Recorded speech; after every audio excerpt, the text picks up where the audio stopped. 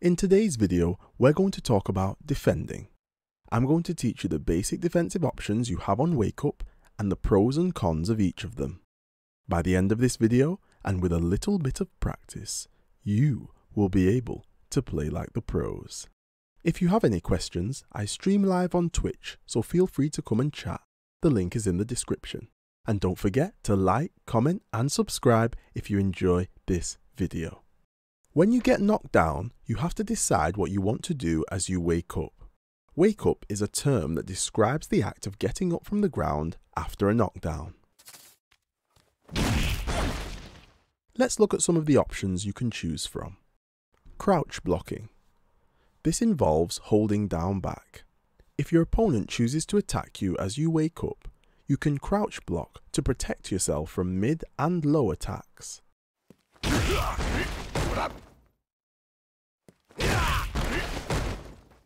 The advantages of blocking are that it prevents the opponent from scoring a hit. It allows you to punish any unsafe moves the opponent may attempt.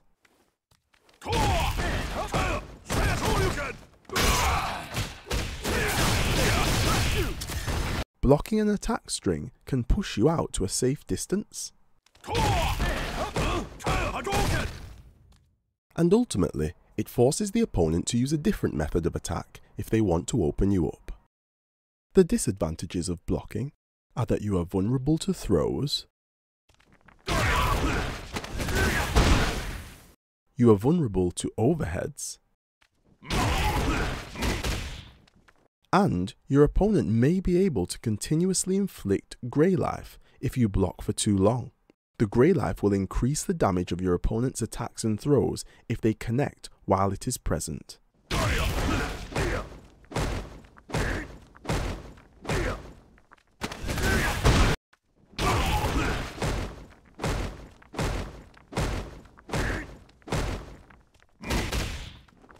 Backdash or jump. You can backdash or jump on wake up to try and escape a pressure situation. By quickly pressing backwards twice as you wake up, you will perform a backdash. By holding any of the upwards directions, you will perform a jump. The advantages of backdashing or jumping are that you will be throw invincible. If the opponent attempts to shimmy you or bait your wake up attack, you will escape the situation.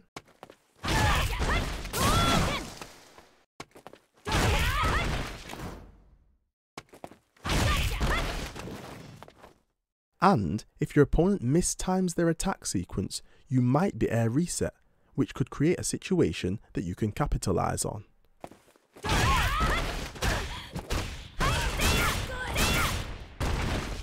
In this example, R. Mika knocks Karin down and tries to attack her as she wakes up.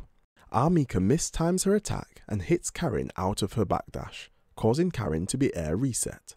R. Mika then mistimes her second attack and Karin capitalizes with a whiff punish into a combo. The disadvantage of backdashing or jumping is that you will be left vulnerable to your opponent's attacks as long as they time them correctly.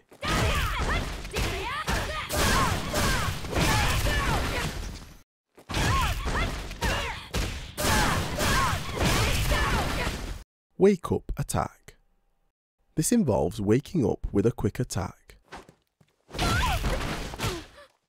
The advantage of waking up with an attack is that you can sometimes turn a defensive situation into an offensive one.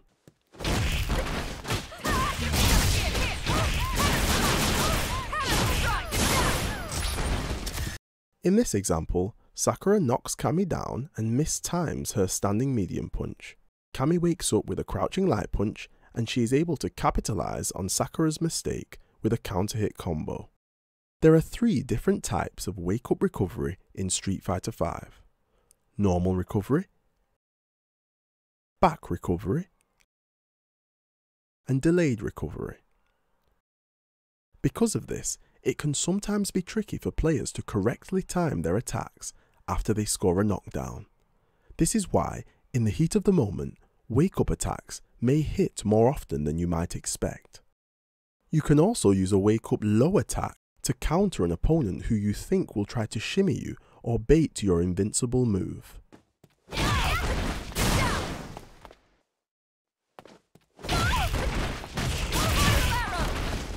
The disadvantage of waking up with an attack is that you will be left vulnerable to your opponent's attacks if they time them correctly.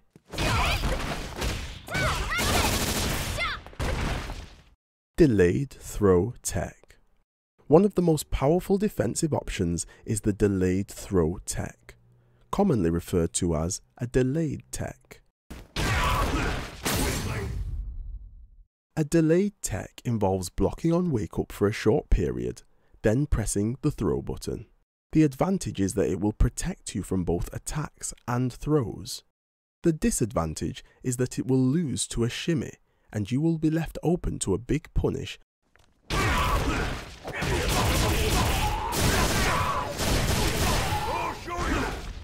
Wake Up Invincible Move Another powerful wake-up option is to use an invincible move. Almost all characters in the game have an invincible attack or critical art.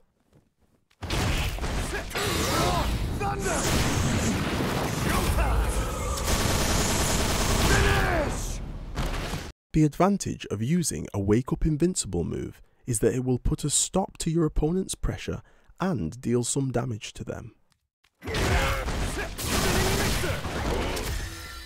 The disadvantage of using a wake up invincible move is that if your opponent blocks your attack, you will be left wide open for a big punish.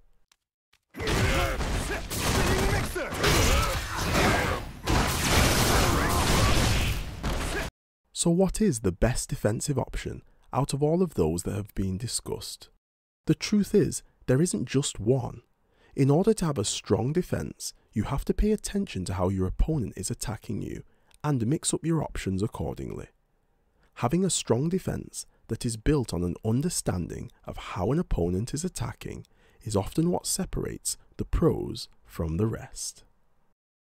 So, do you understand how to defend? Can you play like the pros? Let me know in the comments below and also tell me if there are any other topics you want me to cover. If you enjoyed this video, hit that like button and make sure you subscribe so you don't miss out on the next one. Thanks for watching.